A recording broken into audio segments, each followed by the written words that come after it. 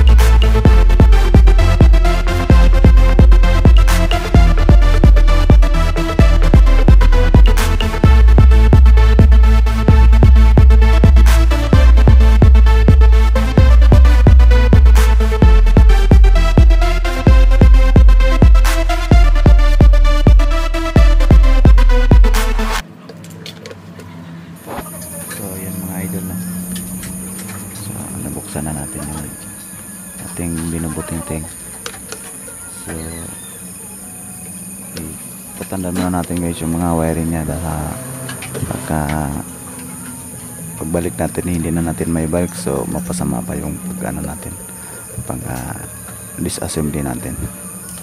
So. Ah, gawa natin ah, dapat natin gawin. So, eh, continue na lang ngayon guys yung ating ah, video. Ah, continue na lang uh, nyo guys ah, for more ah, idea. So, music operator.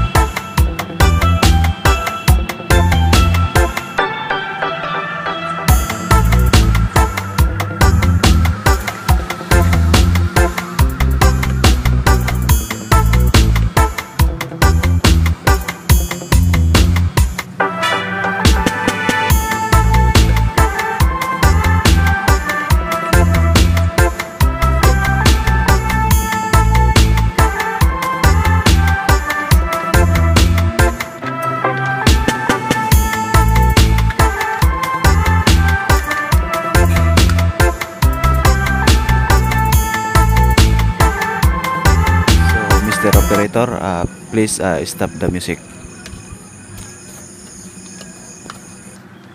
Ah, so yun na mga idol no. Ah, medyo ano na. Medyo naguguluhan ako mga idol dahil ah, sa dami ng babaklasin na hindi ko na malaman kung anong ah, gagawin na gagawin ko or ah, paano to ikabit. So, yun lang mga idol. Ah, maraming salamat sa iyong panonood at ah, pagsamantala nating i-cut yung ano natin dahil sa sobrang haba. So, maraming salamat sa inyong panonood at ah, subaybayan niyo yung ah, karuktong nito. Ah, uli, ah, maraming salamat.